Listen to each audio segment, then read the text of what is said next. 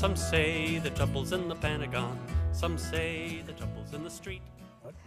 Hello, and welcome to Human Rights Here Now, a program by the Alliance for Human Rights in Santa Cruz County. The Alliance envisions our county as a harmonious and egalitarian multicultural society in which people are well informed about human rights as defined in U.S. and international law. My name is Sonya, and today we'll be talking about an important human right the right to be free from religion and superstition. We'll look at how this freedom is abridged around the world. We'll look briefly at the history of the world's current major religions, the state of religious freedom in the world today, and also discuss what you can do about it. Please join us as we discuss this important topic. Joining me today is Howard Burman, a Santa Cruz resident who, along with me and many others, is interested in seeing this type of persecution eliminated around the world. Welcome, Howard. Thank you. I would like to start this uh, video about the history of the world's current major religions. The fascinating thing to me that this video shows is that religions come and goes. The religions of the world are invented by humans and passed down in cultures and spread through evangelism and conquest. And they die out in certain areas at different times, depending on the political power in charge. The expansion and shrinkage of religious territory that this video shows, and as the title of the map states explicitly, are nearly always the same as the expression and shrinkage of political power, often an empire. And how many of the conflicts represented by this map were fought explicitly in the name of expanding the religion of the political power. This is a history of war. For the causes of some religion and religious war still rages in the world today. Our focus today is religious intolerance and violence directed against atheists. Many of the world's religions have adherents who have committed violence in the name of their religion against those who do not believe as they do.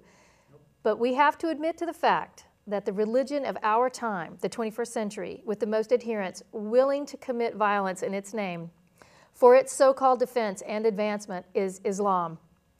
Let's take a look at the recent international attempts to provide the universal right of conscience to believe or not believe, and if the former, to practice any religion. And let's take a look at the Muslim response. On December 10, 1948, the United Nations General Assembly adopted the Universal Declaration of Human Rights. Article 18 of the Declaration states Everyone has the right to freedom of thought, conscience, and religion. This right includes freedom to change his religion or belief and freedom, either alone or in community with others and in public or private, to manifest his religion or belief in teaching, practice, worship, and observance. This and other documents, such as the U.S. Constitution's First Amendment, affirm that everyone should have the right to believe and practice their religion, but do not explicitly state that everyone has the right not to believe or practice a religion as well. To many people, this seems like an oversight that contributes to the persecution of non religious people around the world. Most Islamic countries have signed the Declaration of Human Rights and other human rights agreements. However, in 1948, Saudi Arabia abstained from the ratification vote on the UN Declaration, stating it violated Islamic Sharia law.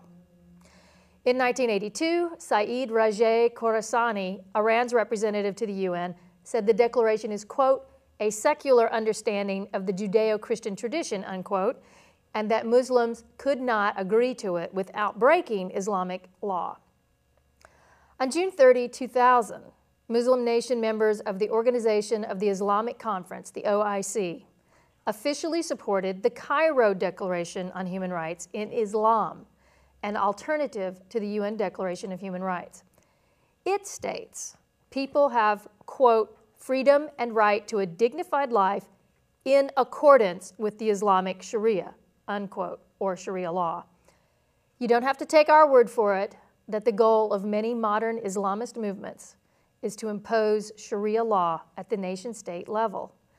A Pew Research study released this year shows that the majority of Muslims worldwide, and in 25 out of 38 Islamic countries polled, a majority of their Muslim citizens want Sharia to be the official law of their nation. What does Sharia say about apostasy? Well, according to the blog Sharia Laws, and I'm quoting here, there is no punishment for apostasy in Islam. Unfortunately, many other Muslims do not hold this view. Here is just one example from several verses of the Quran ordering death to non believers, that is, non Muslims. Quran 489. Quote, they wish that you should disbelieve as they disbelieve, and then you would be equal. Therefore, take not to yourselves friends of them until they emigrate in the way of God. Then, if they turn their backs, take them and slay them wherever you find them. Take not to yourselves any one of them as friends or helpers. And from the reliance of the traveler and tools of the worshiper, that is a manual of Islamic laws codified by a gentleman named Misri. Quote, when a person who has reached puberty and is sane voluntarily apostatizes from Islam, he deserves to be killed. And if you're a Muslim who kills an apostate, no monetary reward, but also no punishment. There is no indemnity for killing an apostate. But let's take a look at how Sharia manifests itself in the Cairo Declaration on Human Rights under Islam in the case of non belief or apostasy. Now I'm quoting from the Cairo Declaration. Article 10 Islam is the religion of unspoiled nature. It is prohibited to exercise any form of compulsion on man or to exploit his poverty or ignorance in order to convert him to another religion, that is, other than Islam or to atheism. So we're talking here about the crime of trying to convert someone out of Islam. That's when coercion, compulsion is illegal. Article 19d there shall be no crime or punishment of apostates except as provided for in the Sharia. And we just heard what that was all about. Right. Article 22a everyone shall have the right to express his opinion freely in such manner as would not be contrary to the principles of Sharia. Article 22b Everyone shall have the right to advocate what is right and propagate what is good and warn against what is wrong and evil according to the norms of Sharia. Article 22c Information is a vital necessity to society. It may not be exploited or misused in such a way as may violate sanctities and the dignity of prophets, undermine moral and ethical values, or disintegrate, corrupt, or harm society or weaken its faith. You can read the entire text of the Cairo Declaration on Human Rights in Islam at the wikiislam.net site. Well, there you have it. You can uh, sounds good, you know, the starts of all those uh, right. rules, uh, those articles in the Cairo Declaration on Human Rights, uh, while we can um, protect, you know, free speech if it doesn't violate Sharia law, in which case you might then be subject to death. Well, there's a lot of countries today, though, that are sort of pulling back from that a little bit. I realize there's still many who are not, right. but perhaps the tide has begun to turn a little bit. I know some of the Western European countries, Ireland, for example, mm-hmm. has been pulling back from some of those uh, draconian laws about uh, insulting religion in any way. So I think maybe we're on the way. Yes, I think we're definitely moving in the right direction. Um, and I think that the, the holdovers and the, the, the countries that are going to take the longest happen to be um, Muslim states. Do you think international pressure will have any effect? I hope it does. I mean, that's, that's really the key here. Yeah. Um, and that's absolutely what the UN has been trying to do uh, with the Declaration of Human Rights. But we have this, this counter move uh, trying to protect defamation against religion, meaning most of the time defamation against Islam, um, pushing back. And um, that's, that's the key. Right. In the Pew Research study of international Muslim attitudes, in the section titled penalty for converting to another faith, we find this statement, quote, in six of the 20 countries where there are adequate samples for analysis, at least half of those who favor make Islam, making Islamic law the official law also support executing apostates.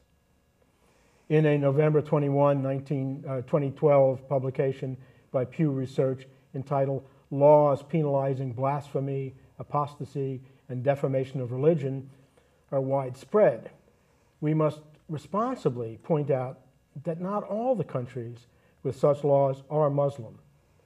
The report cites the cases of a man arrested in India, for example, for claiming uh, a statue of Jesus in, in Mumbai with supposed miraculous qualities is fake. And a case of another arrest of a man in Greece for posting satirical comments on Facebook about an Orthodox Christian monk. But still, while the story does point out that as of 2011, nearly half of the countries and territories in the world, 47% to be exact, have laws or, laws or policies that penalize blasphemy, apostasy, abandoning one's faith, or defamation of religion. I, I wish the report and study had made clear which of those countries had laws that imposed the death penalty uh, for these offenses. The International Humanist and Ethical Union, the IHEU, issued a report last year, Freedom of Thought 2012, a global report on discrimination against humanists, atheists, and non religious. That reveals that out of 60 countries examined, seven have laws providing the death penalty for expressing atheism or apostasy. That's leaving one's religion. And these seven countries are not, not surprisingly Muslim Afghanistan, Iran, Maldives, Mauritania, Pakistan, Saudi Arabia, Sudan. These countries ban or severely curtail the publication of atheist thoughts. Bangladesh, Egypt, Indonesia, Kuwait, and Jordan. And these countries are also Muslim. In many Muslim countries, non Muslim citizens must register as adherents of other officially recognized religions, and those are usually just Christianity and Judaism in addition to Islam. Atheists are thereby forced to lie to obtain official documents without which they can't attend university, receive medical treatment, travel abroad, or drive. Of course, in Saudi Arabia, if you're a woman, being a Muslim still doesn't get you the right to drive. The IHEU says of its Freedom of Thought 2012 report that it, quote, highlights a sharp increase in arrests for blasphemy on social media this year, 2012. The previous three years, 2009 to 2011, saw just three such cases. But in 2012, more than a dozen people in 10 countries have been prosecuted for blasphemy on Facebook or Twitter. The statement then goes on to list six notable examples of prosecution. Besides the example of the Greek man Philippos Loizos, charged with insulting religion for his Facebook page satirizing a Greek Orthodox monk, the examples of cyber blasphemers being prosecuted come from Islamic countries, specifically Indonesia, Tunisia, Turkey, and Egypt. Going to jail for expressing one's atheistic views is unjust, an infraction against the human right to freedom of conscience and expression. Being put to death for blasphemy, apostasy, or defamation of religion, this is the grossest abuse of human rights, the, li- the right to life. Such injustice is especially repugnant when practiced and enforced by the state. But let's look at other examples of the infringement of the human right to freedom of conscience and expression when religion creates vigilantes. Dutch filmmaker Theo van Gogh was murdered, shot and stabbed, in Amsterdam on November 2, 2004, by a radical 26 year old Muslim with dual Moroccan Dutch citizenship. The murderer left a note on Van Gogh's body, citing his act as revenge for the filmmaker's short commentary film sub- called Submission Part 1 about the commonality of domestic violence against Muslim women by their male family members. On July 22, 2011, the Norwegian Anders Breivik murdered 77 people, mostly youths, at a youth camp in an island by shooting them, but also including those in downtown Oslo who died from a bomb he planted in the government district and set off before uh, going to the island. He went on his rampage after publishing a 1,500 page Christian manifesto online that said, and said at his trial that his attack was necessary in response to the Islamatization of Norway. Members of the neo Nazi Norwegian group Vigrid and the group Stop the Islamization of Norway testified at his trial. Yes, I do think Islam and Islamic countries pose greater and graver threats to the rights and lives of atheists and all non Muslims. But as the example of Anders Breivik and his atrocious act sadly shows, the problem is religion, particularly any religion that advocates killing people for disagreeing with it. Again, this is a worldwide issue. Examples of anti atheist discrimination have been reported in 60 countries, from Algeria to Zambia, and including in the United States. It's been reported in brutal theocracies notorious for their human rights violations, like Pakistan and Iran, and it's been reported in supposed secular paradises, like Sweden and France. It's worse in some countries than others, obviously, but this is a global problem. Well, I think it is uh, a global problem. Let's look instead at some good news now on this front. In Israel in 2011, writer Yoram Kaniuk won an historic court victory to register officially as without religion instead of Jewish. The European Union established guidelines on the promotion and protection of freedom of religion or belief in June of 2013. These guidelines assert that the freedom to have or not to have or adopt, which includes uh, the right uh, to change a religion or belief of one's choice. But the document also asserts, and I'm quoting here again, as opposed to the freedom to have a religion, to hold a belief or not to believe, the freedom to manifest one's religion or belief may be subject to limitations, but only to such limitations as are prescribed by law and are necessary to protect public safety, order, health, or morals, or the fundamental rights and freedoms of others. These limitations must be in accordance with international standards and must be strictly interpreted. Limitations for other reasons, such as national security, are not permitted. The last condition makes me think of France's recent laws against wearing burqas in public places yeah.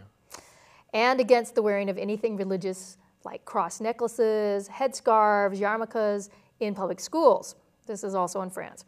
I wonder if the EU's last stipulation was aimed at France.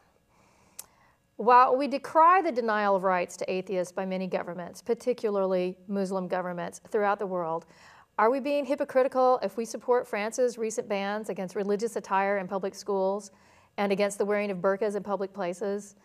I'm inclined to agree with CBS blogger Bonnie Erbe, I'm not sure if that's how you pronounce her name, who wrote in July 2009, quote, women's rights advocates did not fight for the right to vote and for equality under the law only to have immigrant women adopt dress codes that paint them as second class and as accepting of male dominance.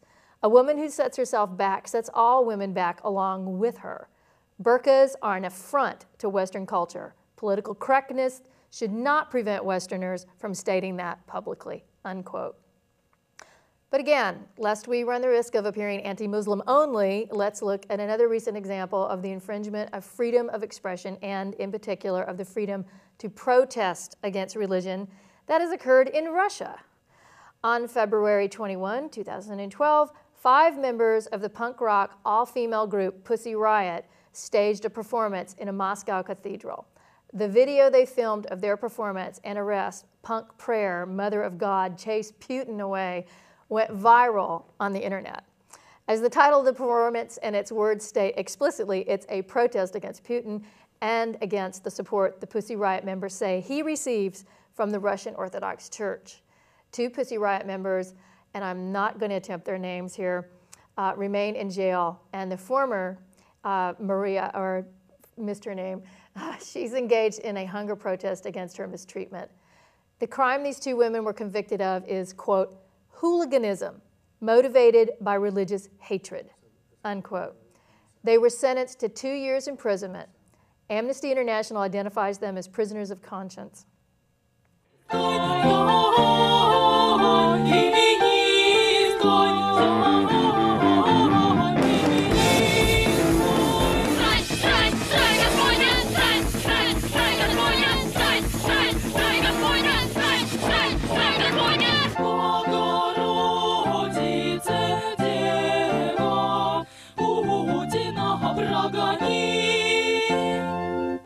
Pussy Riot sentencing in Russia is certainly draconian and clearly a denial of freedom of speech and from religion.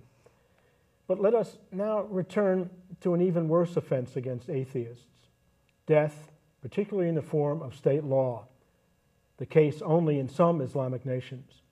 The Organization of the Islamic Conference has repeatedly put forth resolutions in the United Nations Human Rights Council to denounce defamation of religion.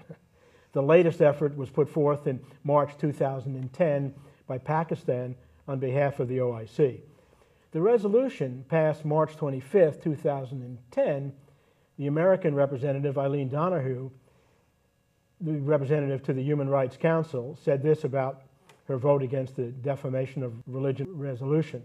Quote, we cannot agree that prohibiting speech is the way to promote tolerance. And because we continue to see the defamation of religions concept used to justify censorship, criminalization, and in some cases violent assaults and deaths of political, radical, and religious minorities around the world. I must point out that Ms. Donahoe, in the same statement, obliquely criticized the French government for its recent laws banning religious attire in public schools and banning burqas in public places. Quote, we share concerns about restrictions on places of worship and on religious attire. But Ms. Donahoe points, points out that death for expressing atheism, for blasphemy, for apostasy, for defamation of religion, for hooliganism, motiv- motivated by religious hatred, are codified international law in a large number of countries. And while Ms. Donahoe does not state it, most of them are Muslim. By now, I've certainly opened myself up to the charge that I'm an Islamophobe, and actually, that puts me in some rarefied and dignified atheist intellectual company, that of Richard Dawkins and Sam Harris. These two have been charged with Islamophobia and racism for their contention, which I am also making, that all religions are intellectually and rationally insupportable, but that Islam in particular poses a unique and deadly threat to dissidents atheists, secularists, and essentially all non Muslims. Sam Harris, author of several books, including The End of Faith and Letter to a Christian Nation, has written, quote, My criticism of faith based religion focuses on what I consider to be bad ideas held for bad reasons, leading to bad behavior. Facts of this kind demand that we make distinctions among faiths that many confused or dishonest people will interpret as a sign of bigotry. I believe that atheists, secularists, and humanists do the world no favors by insisting that all religions be criticized in precisely the same terms and to the same degree. I consider Islam to be especially belligerent and inimical to the norms of civil discourse. My views are often described as racist by my critics. It is said that I am suffering a terrible case of Islamophobia. Worse, I am spreading this disease to others and using a veneer of philosophical atheism and scientific skepticism to justify the political oppression, torture, and murder of innocent Muslims around the world. Unquote.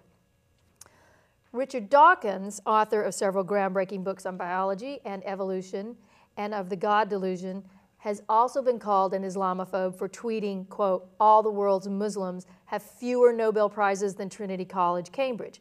They did great things in the Middle Ages, though, unquote.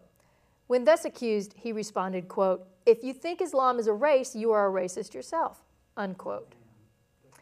When accused of bigotry, he responded, quote, how can the assertion of an undeniable fact be bigotry, unquote.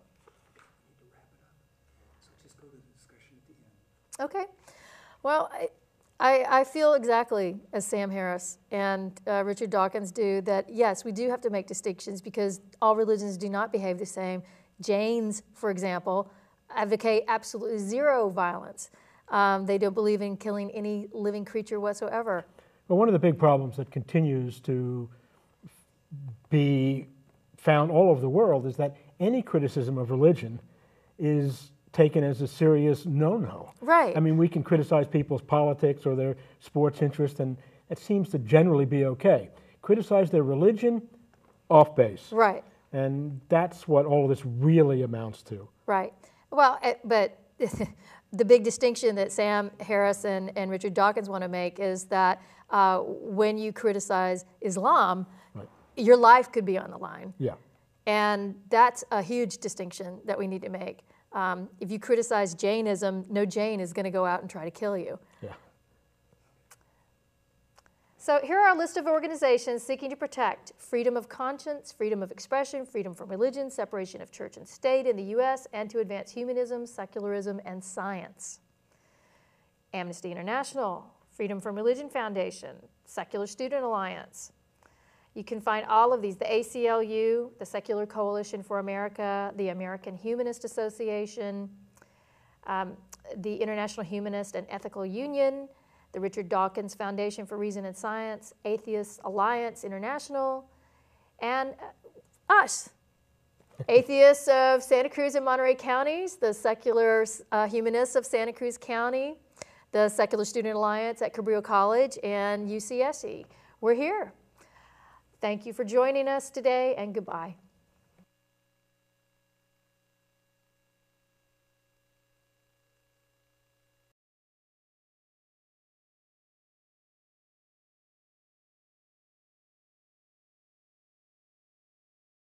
Say I remember when you used to sit in the family car, the back seat. Over, is so safe and well, so you can make lots and lots of babies. No woman, no drive. No woman, no drive. Here,